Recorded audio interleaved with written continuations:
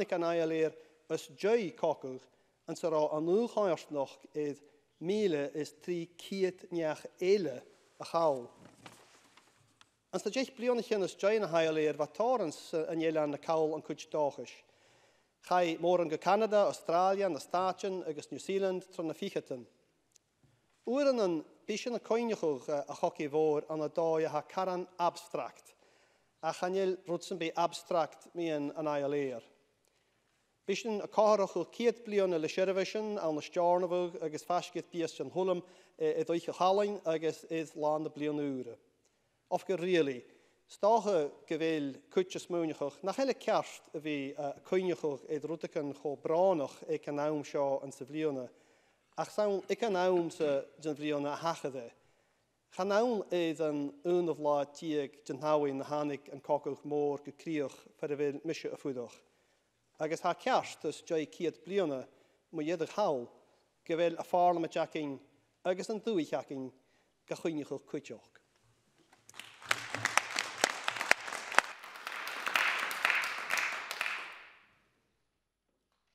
We move now to the open debate. We are quite time for time, tight for time, sorry. So if everyone could stick to no more than four minutes. I call Maurice Corey, followed by Angus MacDonald. Oh, sorry, um, thank you, Deputy Signing Officer. Um, I thank Alistair Allen uh, today for bringing this timely motion to the Chamber. Uh, the ILED disaster was an unequivocal tragedy indeed, and returning servicemen lost in the sight of their home. Commemorations are always sobering, and I, I'm aware of this also with recently commemorating the, the, disaster of the Otranto and Tuscania on the north coast of Isla earlier on this year as part of the World War I commemorations, which I was involved in. But the sinking of the Isla with, Isla with the death of at least 201 men so close to their own shores strikes an especially poignant chord. Over the course of the First World War, over 6,000 Lewismen joined the war effort, about 20,000 of the island's population, and over 1,000 of these servicemen died during the war, a high toll for such a small community. Every family had a father, brother, uncle or son who had died, and for those who were fortunate enough to reach the end of the conflict, we can imagine their relief to be heading homeward. They could look to the new year, facing comforts and familiarities of the loved ones eagerly awaiting their arrival. And on the eve of New Year's Day 1919, Her Majesty's yacht Isle Air, Gaelic for Eagle, left Kaitel of Olakaush, bound for the Stornoway harbour uh, on the Isle of Lewis. The yacht was overloaded with Royal Navy men, mostly from rural Lewis, when lifebelts were few and far between. And by the small hours of the morning, and at one point only 20 yards from the harbour, in clear view of the lights of home, the Islanders struck rocks off the beast of home.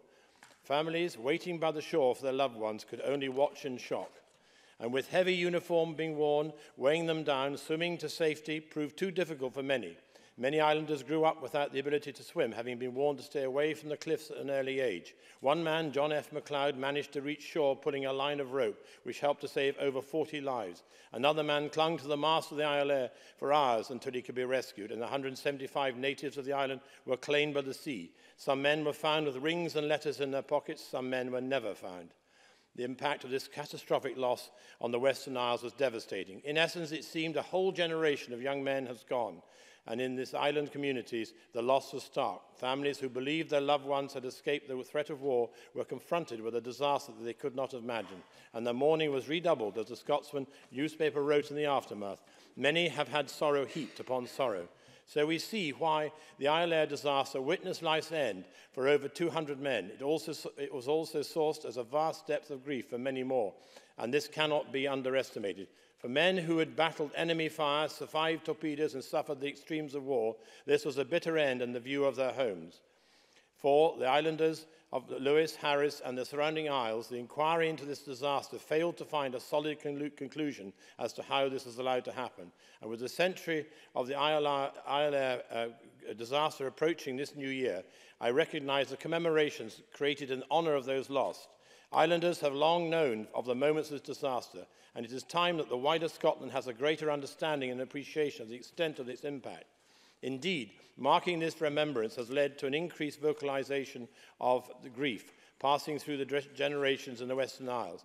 And these commemorations have been a fitting and collective act of remembrance, while the War Memorial on Lewis was officially opened in 1924 and a monument not placed at the Beast of Home until 1958. I am pleased to see the tributes of today. For example, portraits of 100 sailors who died in the ILA have been created by Margaret Ferguson, an award-winning artist whose own great-uncle was among the death toll on that night. These portraits have brought the men to life and have touched home, of, uh, home of, for many families. This exhibition will open on the 29th of December on Lewis, and last month locals planted trees along the road that leads to the War Memorial. On this anniversary, the Prince of Wales and the First Minister will jointly mark the centenary with a visit. These acts of remembrance are incredibly important and they allow us to respectfully acknowledge the disaster and the heavy toll it has had on the island community. And to conclude, Deputy Presiding Officer, I join my colleagues in commemorating the Isle disaster. It opened a new year for the islands that they could not have imagined and saw the death of those who thought they had escaped its hold.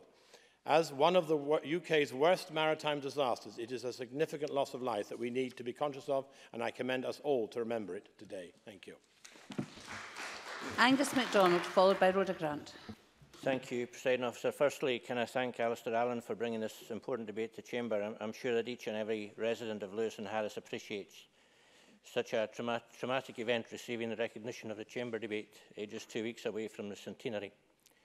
Uh, President Officer, as a Lewisach or Lewisman, this is probably the most difficult speech I've ever had to write or indeed deliver in this Chamber.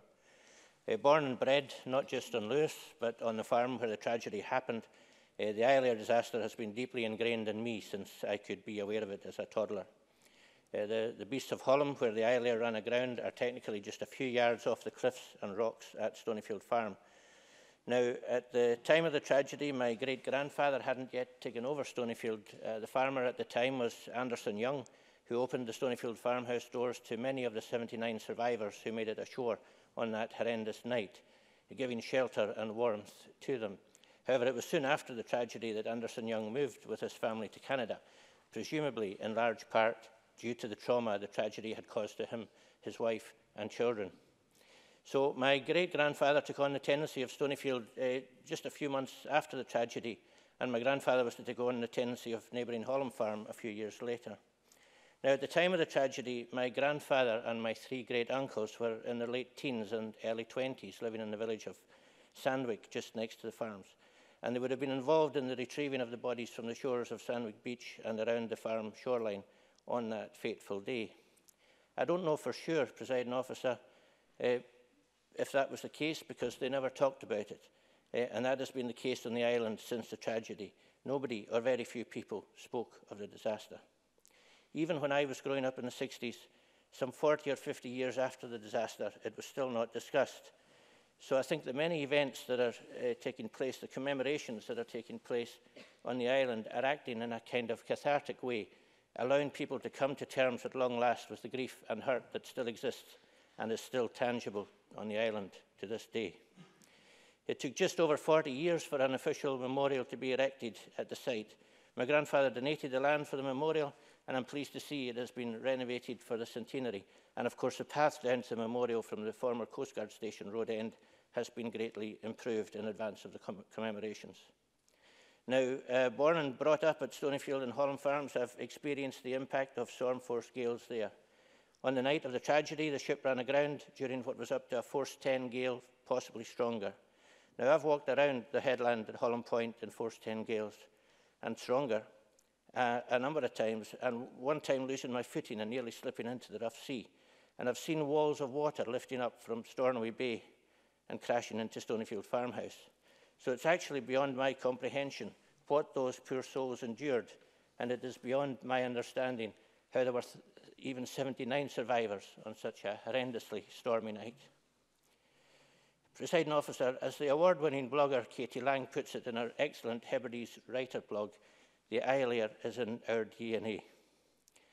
Uh, presiding officer, I found it difficult to, to put in words my feelings, so Um, if it's all right, I'll quote from the current minister of St Columbus Church in Stornoway, the Reverend William Heenan, who said at the opening of the exhibition at Sandwick Hall, as we approach the 100-year anniversary of the Islair disaster, the memories of the inconsolable loss of life still evokes deep emotions in our island population, emotions that have been inherited from previous generations who lived through that fateful Hogmanay night and who had personally experienced the darkest dawn of New Year's Day 1919.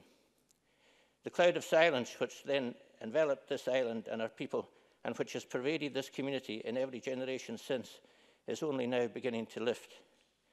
These last four, year, four years of rolling commemorations for the First World War and the various major battles fought during it have in some respect helped to prepare us for this, the hardest and final of these commemorations, the loss of the Islier.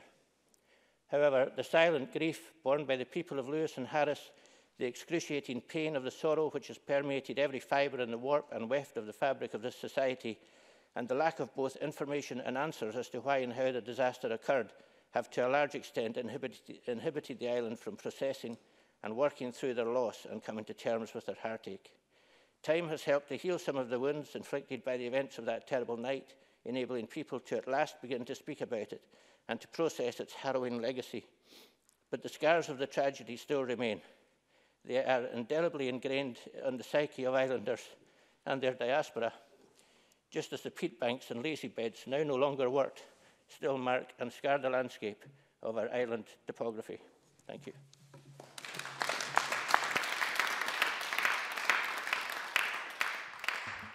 Rhoda Grant, followed by John Finney. Um, thank you, Presiding Officer. Can I also thank Alistair Allen for securing this debate? In a year that marked the centenary of the end of World War I, we're fast approaching the last commemoration, the sinking of the Isle Air. The islands had provided many men to fight in the services for the World War and had already suffered great losses. You can only imagine the relief of families hearing that their loved ones were on their way home, believing them to be safe, and making preparations to welcome them. There must have been an air of excitement, or maybe just relief, for the men themselves, arriving at Kyle must have been like a homecoming of its own. Those who had previously been fishermen would have been in familiar surroundings as they would have often berthed and landed their catch in Kyle. They knew the crossing well, so close to home, possibly for the first time in years. And they would have also been meeting old friends, catching up on news. Home was within touching distance. As more men arrived, the Sheila, the boat that was taking them, was already close to capacity and the Isle Lair was sent to fetch them home.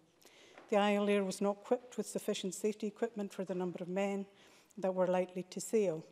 However, it was Hogmanay, it would have been cold, too cold for people to be outside for the night, and it was likely that there would have been, there would have been insufficient accommodation in Kyle for all of them. It appears there were some discussions about this, but the more, with more and more men arriving in Kyle, the decision was taken to sail with devastating consequences. As Angus MacDonald said, many believe the tragedy was the cause of mass migration from the islands in the 1920s and had certainly contributed to poverty and the island's economy is yet to recover properly from that. As we approach the centenary of the loss of the Isle Air, I was surprised to hear, as we've been hearing today, from Alistair Allen that many islanders say that they had only re recently become aware of it. It was never spoken about in their homes and villages, so deep was the loss. When I was very young, I first heard about the sinking of the ILA, so young that it feels like it was something I've known about all my life. My grandfather fought in both world wars, as did his father. And my grandfather never spoke to me about his wartime experiences. We knew of it because of his medals and because he had an old demob union flag that he flew every time there was a wedding in the village. However, he did speak about the Isle He told us of the tragedy and the loss experienced by the whole island. These communities have come together and will continue to come together over the following weeks to mark the centenary, and we must stand together and do this with them. I hope that the site where the Isle Air sunk is recognised as a war grave, although I understand there is very little left of the boat. However, the beasts of Hollam will mark the spot where these men fell. Chris Murray, whose work with the Coast Guard is recognised by the Queen's Gallantry Medal, has offered to dive to lay a wreath on the site on New Year's Day. And this will be another fitting tribute to those who were lost so close to home 100 years ago As people begin to speak about the tragedy more widely, we see how these events impacted on so many lives. My Gaelic tutor told me that his grandfather had been on the Isle Air and had for some reason transferred to the Sheila, a decision that saved his life. I also found out only recently that John MacLeod, who bravely swam ashore with a rope and saved so many lives, was the great grand of Chris Bryant, the MP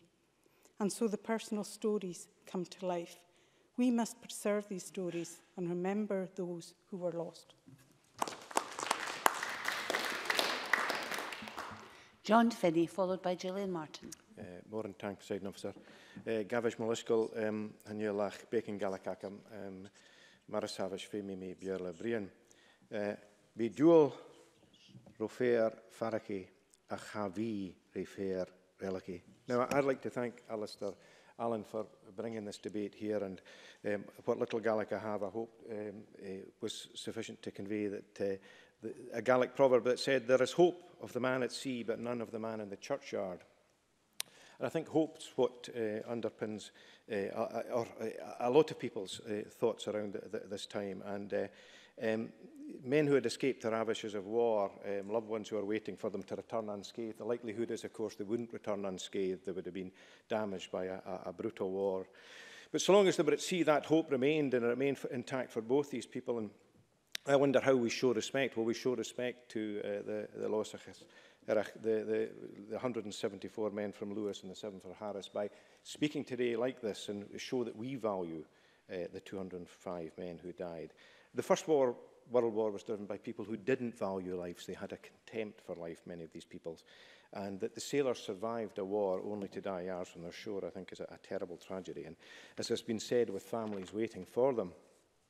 some in the quayside and uh, bunting out, as I understand, and uh, the impact that others have uh, mentioned, that, the Lewis and Harris lost a fifth of its, its population in the war. Um, 6,000 plus men had uh, served their country uh, and uh, That had a significant impact on the Gaeltach in Scotland and, as we've heard, on the, the whole communities. And I, I think there, there is a collective mourning, almost a, a collective denial, and we would understand the significant impact that's had in generations.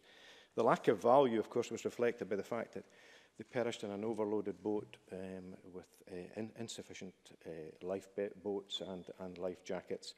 Um, they, I'll not go into detail of, of, of the tragedy. People know how dangerous, anyone who's travelled over the Minch in January will know how dangerous the waters can be, um, and uh, the, of course others have alluded to the very brave, uh, um, humane acts that took place and the great efforts that went in to save people. This was the, the worst UK maritime disaster since, two, since 1904, and uh, the worst peacetime disaster of a British ship since the Titanic, uh, and uh, the largest loss of life in UK water since 1904.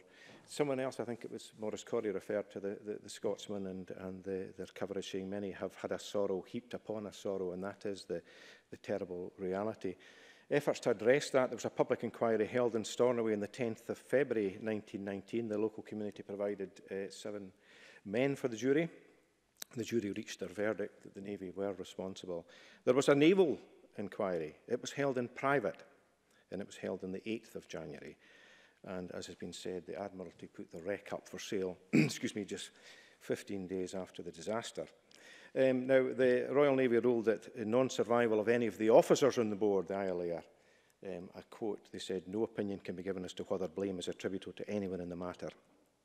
And again, that's indicative of the fact that survival of the ordinary ratings clearly wasn't uh, uh valued. Now, there was the ILAIR inquiry, as I said, and I understand it gathered dust in the Admiralty vaults for over 50 years. The findings were not released into the public domain until 1970, and I think that's a, uh, a disgrace. The Admiralty were insensitive in putting the, the, the vessel up for sale um,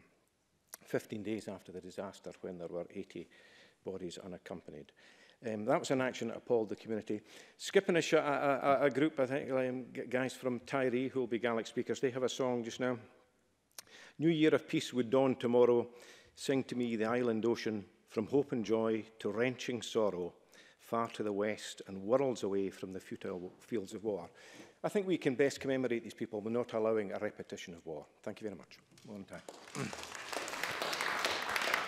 Uh, can I give a reminder to members that we're very, very tight for time? Gillian Martin, followed by Edward Mount.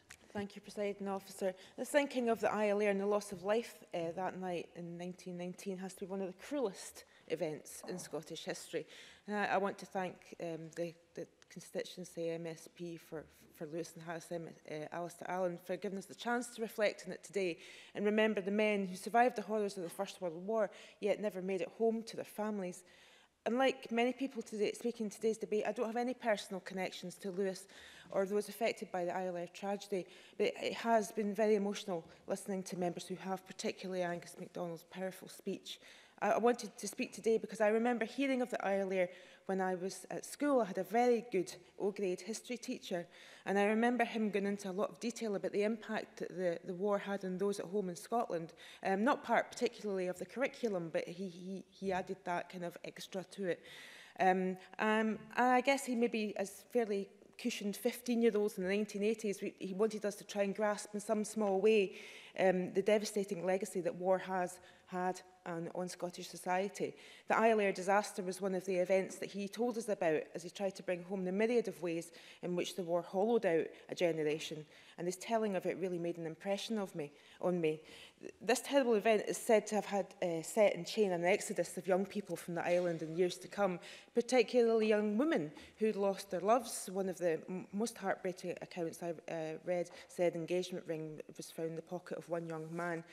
who drowned.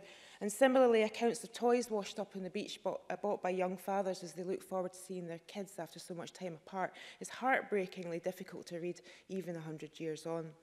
The young women of, of Lewis now lived in a community where the male population of the island was decimated. Future hopes for marriages, future hopes for raising a family were lost to a generation of Lewis women. Future thoughts of raising a new generation of Lewis children were lost to many families. Uh, many families are obviously robbed of their sons, husbands, brothers and fa uh, fathers in communities that already had lost over a thousand young men in battle. And in reading more this week, I was struck by this comment from local Lewis historian Roddy Murray, who said, we can speculate on its contribution to the mass emigrations of the 20s, its effect on the Lewis character, the rebirth of an inherent fatalism. Its effect was like the Passover of the Old Testament. It's fair to say that the war and the loss of young men possibly did put in chain a mass emigration to the likes of Canada, New Zealand, United States and Australia um, as people tried to leave the tragedy behind. And we read accounts of those left, left behind in Lewis, for the shock of the disaster left many unable to ever speak of what happened, to ever vocalise the unfairness of the hand that the island had been dealt. And of course, the, as many others have mentioned, the ILA are second only to the sinking of the Titanic in terms of life lost through an accident at sea in peacetime. Yet there are no Hollywood film epics, no minute-by-minute -minute drama documentaries on repeat on the History Channel. Perhaps the reason for that is that the grief was so concentrated in one community and therefore too painful to ever be dramatised or retold in anything other than a quiet and contemplative way, if at all. I, I guess I try, I try to have a sense of, of, of any kind of tragedy that I could relate to. And I guess in a similar way to the Piper Alpha disaster, which many of us find hard to speak of in our area. But as, as, as Alistair Allison has said, the loss of, of life at that scale in an island community is something that people like myself who don't live in an island community can't really get their head round. So this year we've talked often and quite rightly of the sacrifice made by so many in the First World War and the centenary of, of uh, the war's end. I want to again thank Alistair Allen for once again allow allowing us to pay our respects to the returning servicemen of Lewis, their families and the community who were so deeply scarred by the tragic accident that day. Edward Mountain, followed by Joan McAlpine. Thank you, Presiding Officer, and I am conscious that we have heard a lot this afternoon from people who are very closely related to this incident. And I don't want to add very much more to say, but to thank Alistair Allen for bringing this debate to the Chamber. And it's right that we should be thinking about this event as we think about returning home at Christmas. The fact that it was 100 years ago, and there were 280 men, uh, so sailors who were involved, trying to travel home as well for the new year, makes it more poignant. I've been interested to hear about the overloaded boat and the fact that the Navy didn't respond as it should have done and the fact that those sailors were weighed down with kit. And the great hero heroism that we heard of John Finley MacLeod swimming ashore with his rope and rescuing the 40 men. And it's right that he's immortalised for his effort and the sculpture to be unveiled by Prince Charles in the new year.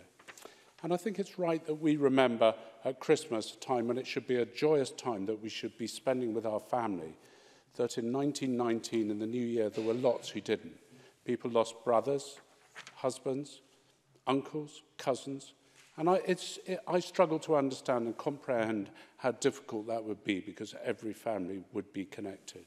So, presiding officer, I'm keeping my contribution short purely because I want to hear other people's uh, contributions. But I do think it's right that we think about this disaster, the worst maritime disaster that we've had in Britain's history.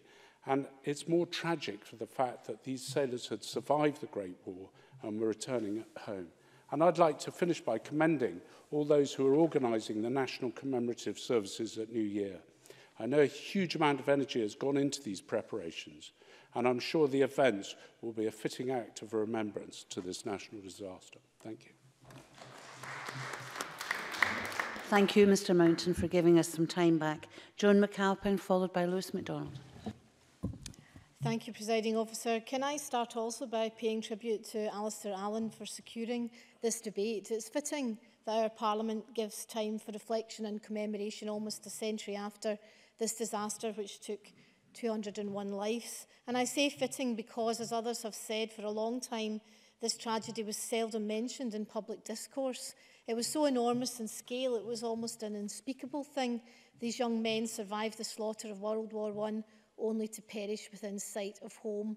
And their loss cast a dark and silent shadow over the islands which had lost so many more young men in the war. And others have talked about the significant demographic effect that that had. These men would have been coming home uh, to start families uh, with their sweethearts, as others have said. And as it was, depopulation accelerated rapidly in the 1920s in the Gaeltacht. There is another earlier legacy. The years of silence have lifted and the tragedy is now properly explored and features extensively in the oral, social and cultural history of the Outer Hebrides.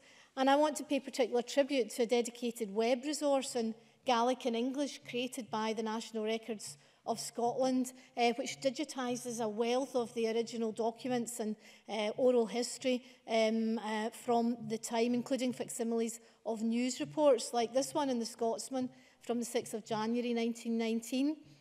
It reads carts and little processions of twos and threes, each bearing its coffin from the mortuary, pass through the streets of Stornoway on their way to some rural village and all heads are bared as they pass.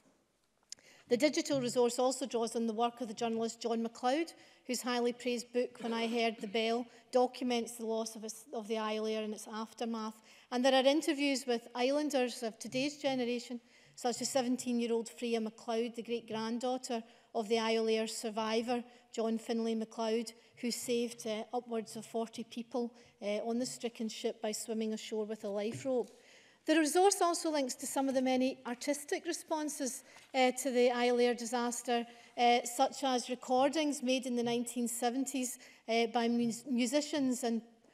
poets who were alive at the time of the sinking. And contemporary artists have also responded to the centenary Uh, and Lantern is currently showing Dawn Till Dark, an exhibition featuring the work of glass artist Alec Galloway and photographer Vary Law. Uh, and although unfortunately I have been unable to see the exhibition, I have been impressed by some of the images that I've been able to view. Uh, my partner, who is a writer, assisted Mr Galloway with a piece called Harbour Full of Words. It's a beautiful large glass bowl filled with seawater from the harbour and lit beneath uh, and containing 201 pieces of sea glass collected from beaches where victims were found. Each piece of the glass is etched with a word connected to the Isle Air, including the names of all those who died. And the New Year sees another exhibition, Isle Air 100 by Margaret Ferguson, featuring portraits of the sailors who died as well as those who survived. And I think that's fitting because although the tragedy of the Isle Air is all about loss, it's also about survival. A community which suffered so much loss, death, migration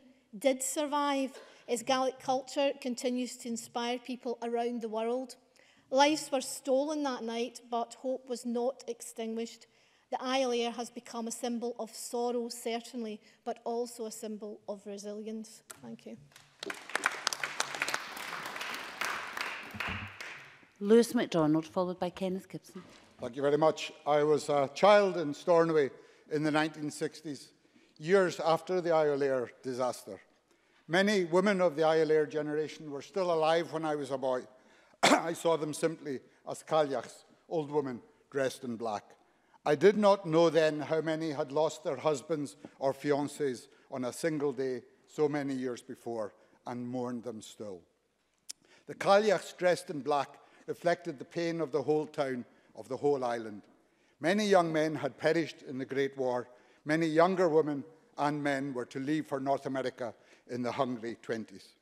In between came this terrible, gut-wrenching, soul-searing loss of so many who had survived the war and so nearly won home. Fifty years later, the despair of that dark and stormy night still dominated the life of the island. Yet so painful was it that people in Lewis then hardly talked of it at all, as Alistair Allen and others have said. As Alistair Allen also said, the loss was not in Lewis alone. My grandfather, Donald John MacDonald, was of the same generation. When the Great War ended, he was 28 years old, a member of the Royal Naval Reserve, like most of those who drowned on the Isle Air, and he had served in the Mediterranean since 1915. He had grown up in the Isle of Bernerai of Harris, a little island of a few hundred souls. His own father had died at sea. His widowed mother had raised her children in a cottage by the quay. Home leave for Donald John involved a voyage to Stornoway from the mainland, then a 60-mile walk to Rodel or Obe in Harris, or a run home in a fishing boat from wherever he could find one, going in the right direction. Mercifully, Donald John was not travelling home on leave that new year. He was not on board the Air. He went on to sail the seven seas as a merchant seaman in the 1920s, to marry Mary MacDonald from North Uist, to raise a family of their own. But other young men from Bernary were not so lucky. Norman MacCillop was 19, Donald Patterson only 18 when they died on the Isle Air. Those were boys my grandfather knew, and the loss of even two such young men was a heavy blow for a small place like Burnley.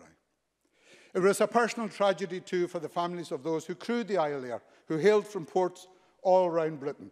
David MacDonald from Virginia Street by the harbour in Aberdeen, a signal boy aged 17, was the youngest to die that day. And school students at Aberdeen Grammar School, School have helped to remember him this year, adding a granite stone in his name to the new commemorative cairn in Stornoway. Because even in Lewis, 100 years on, the shadow has retreated and a new generation of islanders are able to commemorate the ILR in a way that previous generations could not. Ian S. MacDonald wrote many fine songs, one of the finest is the Isle Air. Like me and my sister Deirdre, whom he married, Ian was a child in 1960 Stornoway, still in shadow and in silence. But to hear him sing his song of the Isle Air was almost to hear the storm itself, so dark with rage and loss. That song is his memorial too, as he has died too young in this centenary year. To the families of Lewis, the chilly winds moaned, Your sons, they have perished and will never come home. It seemed each pebble on the shore. It bore a sailor's name. Good Yarif We will indeed remember them.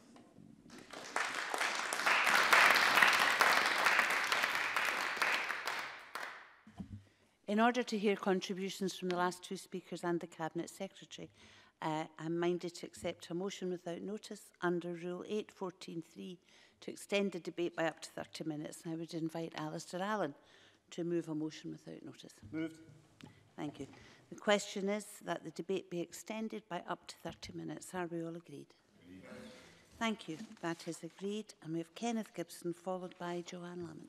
Thank you, Presiding Officer, and I thank my colleague Alistair Allen for bringing forward this important debate. For those listening from out with the Western Isles, this might be the first time they've heard of the Islay tragedy, despite it being the worst peacetime British sea disaster since the Titanic, and despite its devastating impact on both the population and morale of those islands. Today we bring that tragic New Year's Day 100 years ago to the fore and highlight the moving remembrance taking place. Two months after the end of the Great War, leave was granted for many to return home, and on Hugmanay in 1918, Islayer set off from Kelvil at 7.30pm. At 1am, the Isle Air was sailing far, far east for reasons we do not fully understand as yet. Uh, lights on the beasts of home warned of danger, but the ship failed to turn. Uh, its momentum pushed her forward, and as a gale took hold, the Isle Air failed to change course. Instead, she carried full steam ahead into the pitch black night, striking the beasts of home at 2am on New Year's morning. Over 200 men died, including 174 from Lewis, and seven from Harris. 79 survived, 40 saved, as we've heard, by the heroism of John Finlay MacLeod. The island's contribution to the Great War had been considerable, with 6,172 men from Lewis serving on the armed forces, a source of pride for an island of just 29,603 souls in 1911. Yet losses had been heavy. From the 51 houses in the village of Luerbos alone, 32 men had been killed or badly wounded, 11 more would be lost on the Islair, which sank less than one mile from safe harbour. What is most upsetting about this disaster is that having survived the horrors of war, these young men should drown as their families gathered to welcome them home to communities that missed them sorely. A third of those lost in Islair would never be recovered, but many bodies given up by the sea were washed up on Sandwich shore, a sight that haunted those who saw it for the rest of their lives. The tragedy impacted on islanders for decades. Morale was shattered, and mass immigration followed. John MacLeod, author of a comprehensive account of the disaster, When I Heard the Bell, wrote that his grandfather's eight at the time and never forgot standing out his, outside his door in the village of Cross and seeing carts coming over the brae with coffins. Carts passing the house, carts with one coffin, carts with two coffins, carts with four coffins, coffins after coffins. Lewis actually ran out of coffins, which had to be brought from Kyle. That detail encapsulates the scale of the tragedy on such small, close-knit communities. A hundred years on, the disaster is now entirely out of human memory, and yet people are talking about the Ilia. A new generation of Islanders wants to understand the pain, the tragedy inflicted, to know the men they lost and the grief felt by those left behind. Perhaps with the last survivor and the last child who lost a father now gone, people are finally free to revisit this tragedy, giving it the commemoration due. One particularly moving contribution to the centennial remembrance is Katrina Black's animated film you are at the bottom of my mind, building from stories told in Gaelic from decades past by survivors and witnesses, adding a traditional music score specially written for the creation and hand-drawing 25 frames for every second of the five-minute film. It becomes a moving painting of 7,500 drawings, 10 months in the making, laid with photographs and films such as the seaweed-covered surface of the deadly beasts of home and the gravestones of men lost to the sea. Those poignant details bring the artwork to life, and remind us of the brutal reality of what happened that night. I encourage everyone to watch the film when it is broadcast on Hugmanay. Presiding officer, today we've recounted stories of bravery, grief and the sheer waste of human life. Now a century later, we've a chance to remember and allow for the sharing of grief decades in the making. The last of the open debate contributions is from Joanne Lamont. Thank you very much, Deputy Presiding Officer. And can I say I feel greatly privileged, if a little hesitant, to participate in this debate, remembering a tragedy, the cruelty and impact of which is almost beyond comprehension. I want to congratulate Alistair Allen for his beautiful speech. Um, Gaelic is sadly not a, a language I can speak, but it's the language of my soul, and I love to hear that language whenever I can. But to all of those who have spoken um, of their own direct relationship to this terrible tragedy, I'm the child of island parents, albeit Tyree and not Lewis. My father was at sea all of his life, and from an early age, my mother made us aware of just what risks his jobs brought and the joy and relief it was for everyone at sea to reach safe haven. Islanders understood then and understand now the power of the elements to shape their lives, to shape their opportunities and their future. And as a young woman, I began visiting the Isle of Lewis. And can I say that it's an island of great warmth, generosity, humour and sense of community, even if it has, like many other places, a sad history.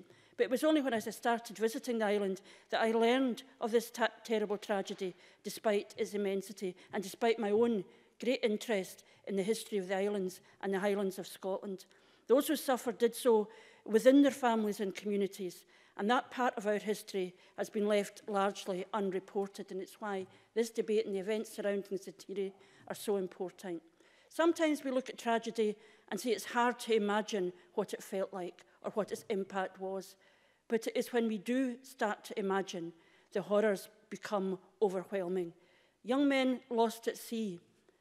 not just young men lost at sea, but returning safe at the end of a war where they must have suffered terribly and seen the brutality of war firsthand. Not just young men, but 201 souls returning to small communities where their loss wiped out a whole generation from within individual villages. Not just young men coming home, but coming home on the 1st of January to celebrate the new year, the only day of celebration in the whole year on the island in those days, and a day, New Year, which signified the importance of family and community, of mutual support, a time for reflection on the past, but also a time to look at prospects for the future. And, you not, um, and young men not lost on a foreign field, but as families gathered on Stornoway Harbour to meet them, lost within reach of safe haven, lost within sight of home. This tragedy is almost beyond words, and for many its consequences and impact went unspoken for generations. And it is important to remember, but also to understand the importance of renewal, to do what we can to support fragile, remote, rural communities, to maintain optimism for the future, where migration from parts of Lewis reflected the pessimism that followed the tragedy. Small changes on an, small um, occasions or events on a national scale can have a catastrophic effect on small communities.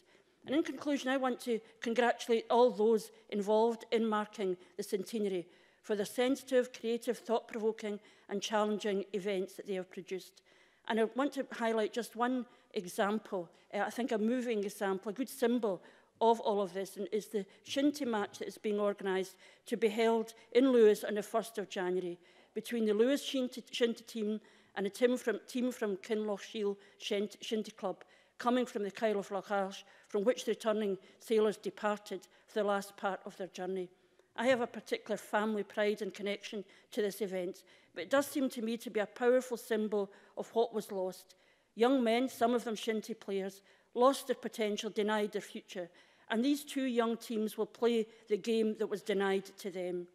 In the renaissance of Shinty in recent years on the island, that remembrance should also be renewal this new generation of young islanders, offering their respect for the past and their determination to be part of securing the cultural, sporting and economic future of the island that they love. This is a time of immense sadness when immense sadness is remembered, but it's also a time to recognise the strength of the human spirit in the darkest of times, as was seen in those communities, and the strength of these communities in renewing themselves. It should be a time of hope for the future too.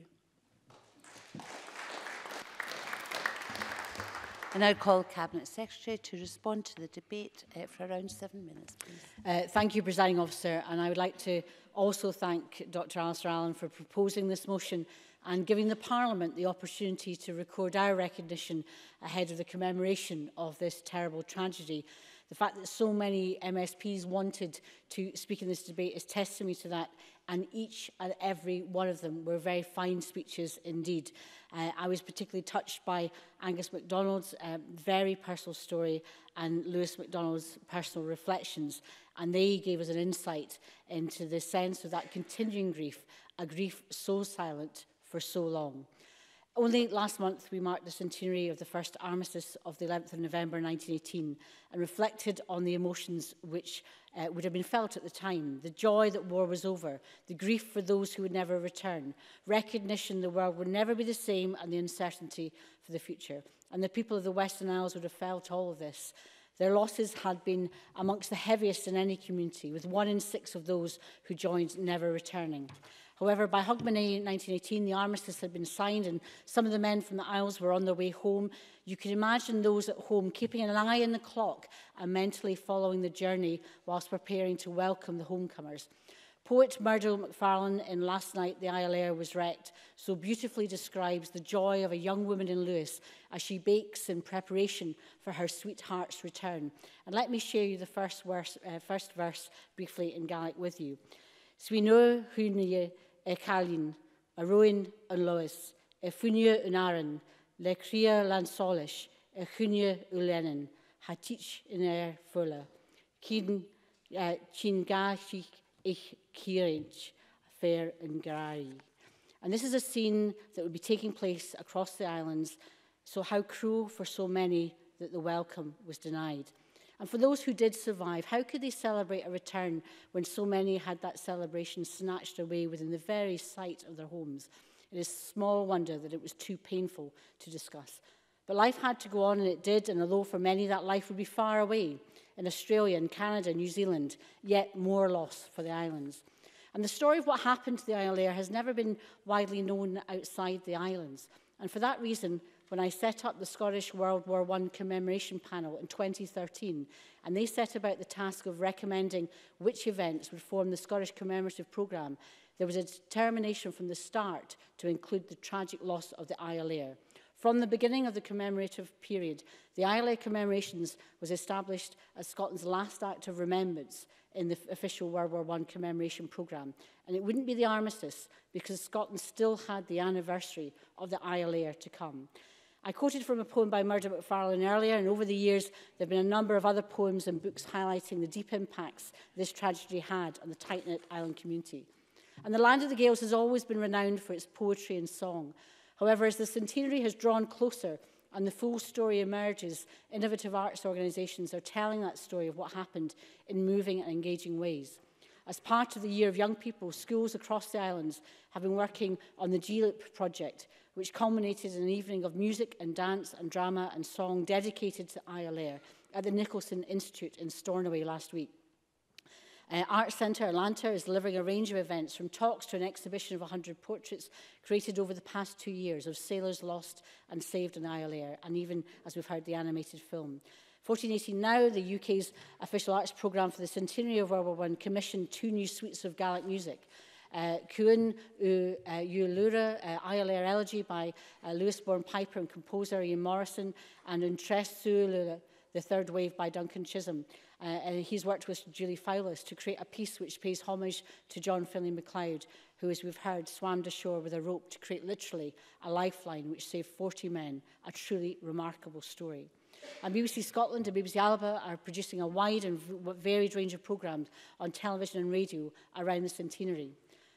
The stunning new sculpture at the site of the memorial will be unveiled on the National Commemorative Event on the 1st of January. Situated within a few metres of the spot where the ship floundered, its simple design provides a fitting addition to the existing memorial and a moving spot at which to take a moment to contemplate the tragedy which unfolded on the rocks below. Uh, Prince Charles, who bears the ancient title of the Lord of the Isles, accompanied by the First Minister, will attend the service of commemoration on the 1st of January 2019, and they will also have the opportunity to speak with descendants of those lost and of those saved. Also happening on that date, uh, a Calmac ferry with around 500 local people on board will sail out on the spot where the Isle Air turned towards the rocks – A short service will be held on board before 201 school children each drop a single carnation overboard, one for each man who died. Presiding officer, there can be few stories more tragic than the, that of the Isle The men on board would have been rousing themselves from sleep, closing books, pulling their belongings together, the things that we all do when we come to an end of a journey. Those waiting would be noting the time, possibly heading for the harbour if they lived in Stornoway. The end of that journey would have been and should have been a joyous occasion. So 100 years on, it is right that the last act of the remembrance in the Scottish commemorative programme is the Isle Air commemoration as the impact on the tight-knit island community was beyond measure. But as we've heard in this debate, this is a story and this is an impact which will continue with the people of those islands for a long time to come. Uh, we have had a privilege to pay honour and tribute uh, during this debate, but it's important and incumbent on us to make sure that their memory lives, that we do have that renewal that's been spoken about in the debate. So on the 1st of January 2019, I hope we'll all take a moment to reflect on the events 100 years ago which have left such a poignant legacy. More in time.